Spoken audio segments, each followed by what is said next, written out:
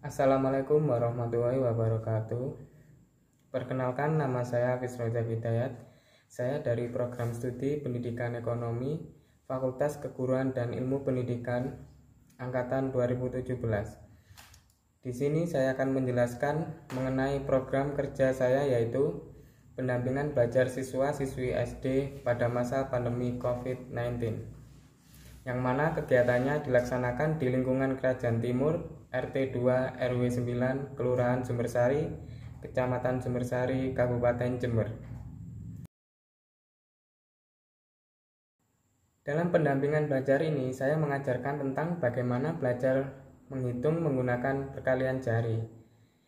Oke, contohnya ya, yaitu yang pertama kita kasih contoh 8 kali 7. Nah, yang berdiri ini adalah puluhan, yang turun ini jarinya yaitu satuan. Jadi yang berdiri puluhan ditambah yaitu ini ada 8 dikali 7 berarti totalnya ada 5 yang turun ada angka 2 dan 3 berarti yang tadi yang berdiri puluhan ada 5 50 yang turun ada 2 dan 3 yang turun ini dikali ya 2 dikali 3 sama dengan 6 berarti kita kita total hasilnya 56 Oke, bisa Oke, saya kasih contoh lagi yaitu 9 kali 9.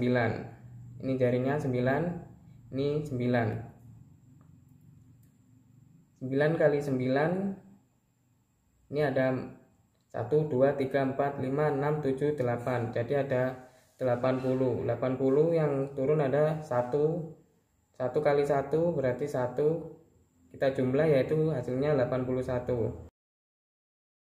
Oke, saya kasih contoh lagi yaitu perkalian 6 dengan 6. Ini agak terlalu sulit ya, jadi tangannya cuma tinggal 2. Ada 20 berarti.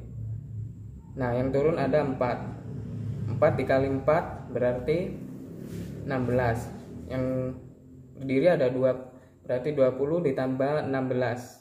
Hasilnya yaitu 36. Nah, itu tadi yang saya lakukan. Saya berikan contoh dari pendampingan belajar di kakak saya mungkin cukup sekian silakan bisa menonton video cuplikan dokumentasi dari kakak saya Assalamualaikum warahmatullahi wabarakatuh